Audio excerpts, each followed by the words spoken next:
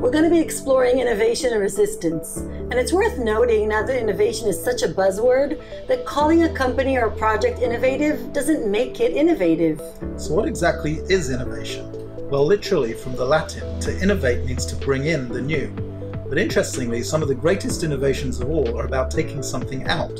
For example, to get to Einstein's theory of relativity, you have to drop assumptions about the differences between mass and energy.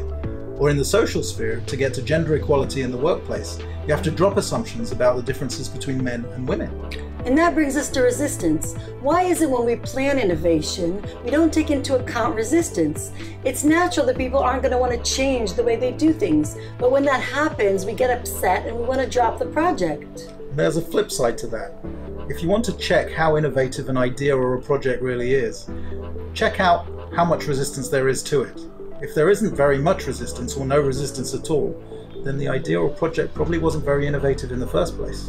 And then there's those organizations that innovate all the time, and that makes people suspicious about innovation. Join us at AmplyPhi to explore innovation and resistance and how to apply them in your own work.